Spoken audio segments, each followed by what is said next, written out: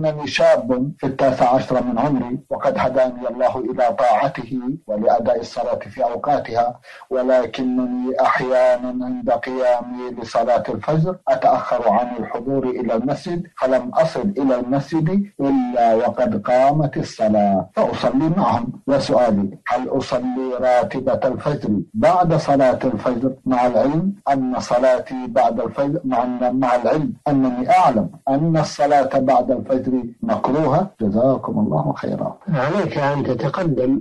إلى المسجد بحيث تتمكن من أداء السنة الراتبة قبل الإقامة لتحصل على أجر انتظار الصلاة في المسجد. ذلك مصالح عظيمة تفوت عليك بالتأخر. أما إذا جئت والصلاة تقام فإنك تصلي الفريضة مع الجماعة ولا بأس أن تصلي راتبة الفجر بعدها. لما جاء في الحديث أن النبي صلى الله عليه وسلم رأى رجلا يصلي بعد الفجر فسأله عن هذه الصلاة فأخبره أنه يصلي راتبة الفجر لأنه لم يتمكن من أدائها قبل الصلاة فأقره النبي صلى الله عليه وسلم على ذلك فهذا جائز. وإن أخرتها إلى ما بعد ارتفاع الشمس فإنه أحسن. أما إن خفت أنك لا تتمكن من صلاتها وقت الضحى أو تنساها صلها بعد الفجر ولا حرج عليك.